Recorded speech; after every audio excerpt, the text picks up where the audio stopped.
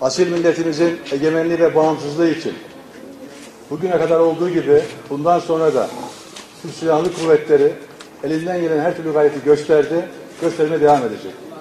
Şehit ailesini ziyaret eden Milli Savunma Bakanı Hulusi Akar, terör bitecek mesajı verdi. Arkadaşlarımızın fedakarlık ve kahramanlığıyla, devletimizin desteğiyle bu terör bitecek.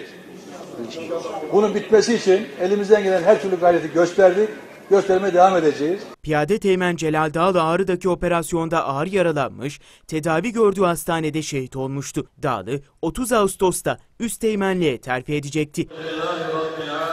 Milli Savunma Bakanı Hulusi Akar, Genelkurmay Başkanı Orgeneral Yaşar Güler ve kuvvet komutanları Ankara'da yaşayan şehit ailesini ziyaret etti. Celal kardeşimiz de görevini büyük bir özveriyle, büyük bir kahramanlıkla, büyük bir asaletle yerine getirirken hainlerin saldırısıyla şehitlik mertebesine ulaştı. Onun hatırası, onların hatırası, tüm şehitlerimizin hatırası bizim için en büyük, en kutsal emanet. Hulusi Akar, Yaşar Güler ve kuvvet komutanları şehidin annesi ve babasına taziyelerini bildirdi. Onları teselli etti. Milli Savunma Bakanı yaptığı konuşmada önemli mesajlar da verdi. Bu terörü sona erecek şekilde büyük bir azimle, büyük bir kararlılıkla görevlerimizi yaptık, yapmaya devam edeceğiz. Bu terör bitecek.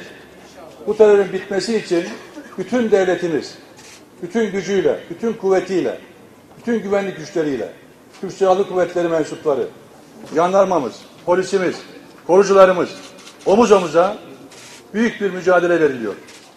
Dağlarda, tepelerde, karlarda, kışlarda